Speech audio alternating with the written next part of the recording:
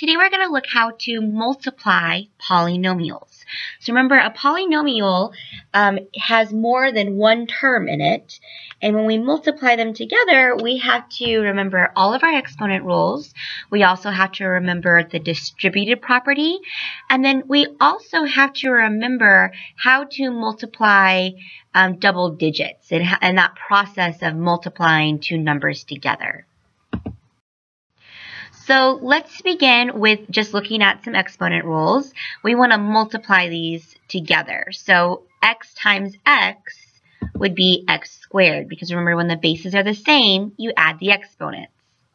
And then 2x times 3x, well you can multiply 2 and 3 to get 6, and then x times x is x squared. So you get 6x squared. Now for the next problem, we have 6x squared times x to the 7th. So we're going to add our exponents to get x to the 9th, but we still have that 6. So we have 6x to the 9th. Now for this next problem, we want to distribute that 5. So we're going to multiply 5 by x, but we're also going to multiply 5 by 4. So 5 times x is 5x, and then 5 times 4 is 20. And then for this last problem, we're going to distribute again, but we're actually going to multiply 8x by both terms. So we're going to multiply 8x by x cubed, and then 8x by negative 9. So 8x times x cubed is 8x to the fourth. And then 8x times negative 9 becomes negative 72x, which we'll write as minus 72x. Alright, so when we're multiplying polynomials, the distributive property is going to come in handy a lot. Um, what we can do with the distributive property is we can find the product of a monomial and a polynomial. So basically what we just did on that last example, we multiplied a monomial by a polynomial. Um, so what you'll do is when you distribute, you multiply every term of the polynomial by the monomial. And remember, monomial means just one term. We can also arrange this vertically, just like when we learned to multiply vertically, when we had a multi-digit number times um, a single digit and we arranged it vertically. You can do that when you multiply polynomials as well. So here is a visual representation of multiplying polynomials. This representation shows that 2x times x squared plus 2. So here is our x plus 2. So x plus 2, we have an x, we have 1, and we have 1.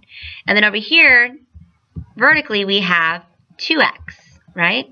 So we have an x and an x. And so this is kind of like in biology when you have Punnett squares, if you've done that yet, but you kind of, you make a grid. So if we have x times x, we get x squared. And then x times x, again, is x squared.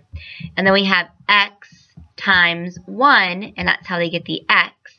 And then we have x times 1 again, and that's how they got this x.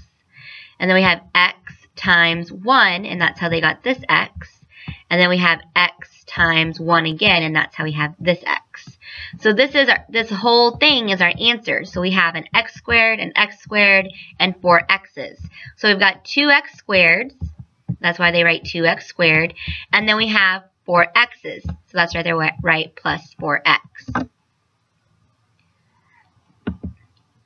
Alright, so to show this vertically, x plus 2 times 2x, so you do 2x times 2, that's 4x. You'll go ahead and write the plus, and then 2x times x, that gives us 2x squared. All right, let's look at an example. We want to multiply 3x times x squared minus 7x plus 8.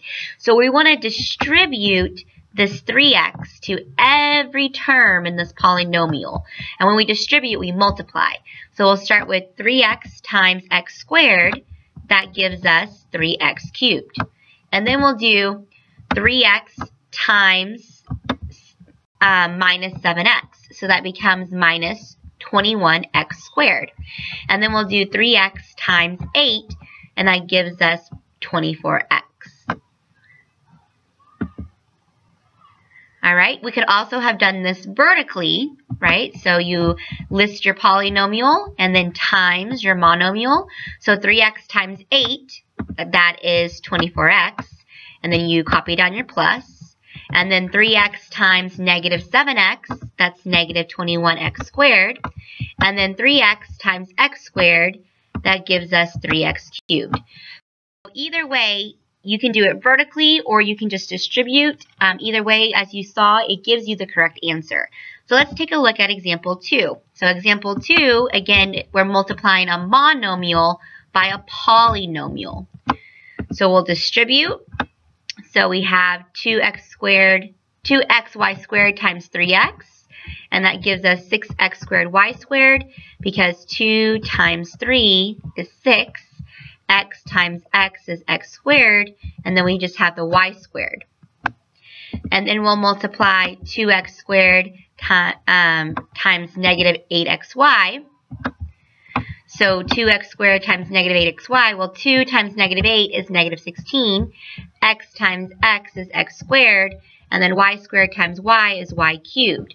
So our our next part of our answer is negative 16x squared y cubed, which we'll write as minus 16x squared y cubed. All right, moving on to the next term, we want to multiply this 2xy squared. We want to distribute it to the 5y. So 2 times 5 is 10, and then we have our x, and then y squared times y is y cubed. So our next part of our answer is 10xy cubed. So we're going to write plus 10xy cubed. And then our next part, the next thing that we want to distribute is to the minus 3z. So we have 2xy squared times negative 3z. So 2 times negative 3 becomes negative 6. And then we have our x, and then we have our y squared, and then we have our z. So our last part is this negative 6xy squared z, which we will write as minus 6xy squared z. All right, so when you're multiplying two binomials, you have to use the distributive property, but you have to use it twice. So you're going to distribute every term in the first binomial to every term in the second binomial. So you're basically using the distributive property twice. So here is the visual example of that. Let's say we want to multiply um, x plus 2 times 2x plus 1. So here's our 2x plus 1. So here's an x and an x and a 1. So this side represents 2x plus 1. And this represents x plus 2 because we have x plus 1 plus 2. So that's x plus 2. So when we multiply, 1 times 1 is 1. And then 1 times 1 is 1 here. And then x times 1 is x. Okay, then moving up, we have 1 times x is x. We have 1 times x is x. And then we have x times x is x squared. Then we'll move up a row. We have 1 times x is x. Then we have 1 times x is x again. And then we have x times x is x squared. So our answer is all of this all together. So we've got 2x squares. So we have 2x squared. And then we have 5x's, so plus 5x. And then we have a 1 and a 1, so we have plus 2. So our final answer is 2x squared plus 5x plus 2. All right, so let's look at an example. Let's say we want to multiply these two binomials together, 3x minus 7 and then 2x minus 5. So remember, we have to use the distributed property twice. We first have to distribute the 3x to the 2x and to the negative 5. And then we have to go back and distribute the negative 7 to the 2x and then to the negative 5. So let's start with let's write this out. So we have 3x that has to be distributed to 2x minus 5. And then we have negative 7 that has to be distributed to 2x minus 5. So now we are going to distribute. So 3x times 2x becomes 6x squared. 3x times negative 5 becomes minus 15x. Then we have negative 7 times 2x is negative 14x. And then negative 7 times negative 5 becomes positive, and we'll write plus 35. So then we can combine some like terms. Negative 15x minus 14x, that becomes negative 29x. So then we have our final answer of 6x squared minus 29x plus 35. So when you um, you have polynomials that are more than two terms, so they're bigger than a binomial, sometimes vertical multiplication helps to see, to keep things straight. And when we do vertical multiplication, it's kind of like when you when you learned how to multiply um, multi digits, right? So you multiplied the first the first digit and then you skipped a place, sometimes put a placeholder zero and then you just shifted over and then multiplied this the next term by everything on the top. So let's take a look at what that looks like. Let's say we have 3x squared plus 4x plus 9, and we want to multiply that by x minus 2. So we're going to start with the minus 2, and we're going to multiply everything by minus 2. So 9 times uh, minus 2 becomes negative 18, and then negative 2 times 4x becomes negative 8x, and then negative 2 times 3x squared becomes negative 6x squared. So now we need to move over. So sometimes you want to put a placeholder 0 here. That's fine.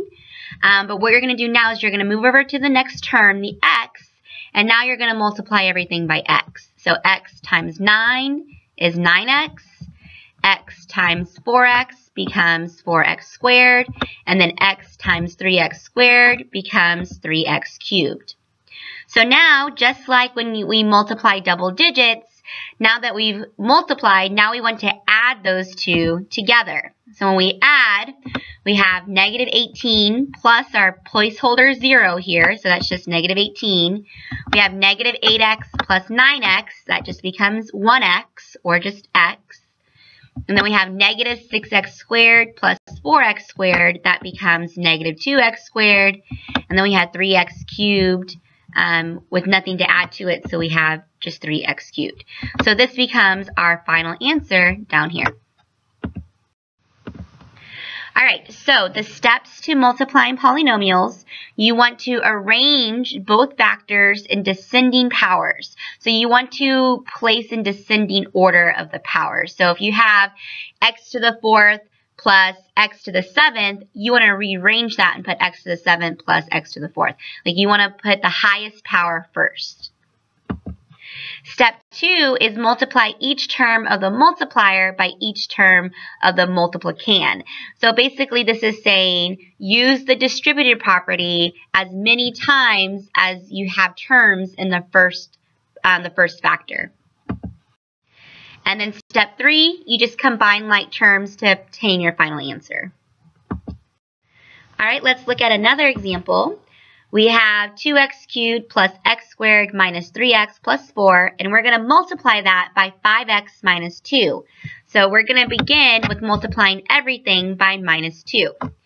So negative 2 times 4 becomes negative 8 negative 2 times negative 3x becomes positive 6x. So we're going to write plus 6x.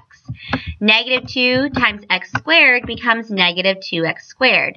And then negative 2 times 2x cubed becomes negative 4x cubed. So now we're going to start multiplying by this 5x. So we're going to go ahead and put a placeholder 0 here, or you can just leave it blank. And when we start writing our answers, we're going to start writing start here. So 5x times 4 is a positive 20x, so we'll put, put plus 20x. And then 5x times negative 3x becomes negative 15x squared, so we'll write minus 15x squared here. And then we have 5x times x squared, that's a positive 5x cubed, so we'll write plus 5x cubed. And then we have 5x times 2x cubed.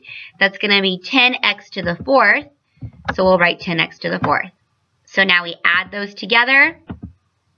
So negative 8 comes down to negative 8. We have 6x plus 20x which becomes 26x. Then we have negative 2x squared minus 15x squared. That's going to be negative 17x squared. Then we have negative 4x cubed plus 5x cubed. That's a positive x cubed, so we'll just write plus x cubed. And then we have 10x to the fourth, which just comes down. So this becomes our final answer. All right, go ahead and try some problems on your own.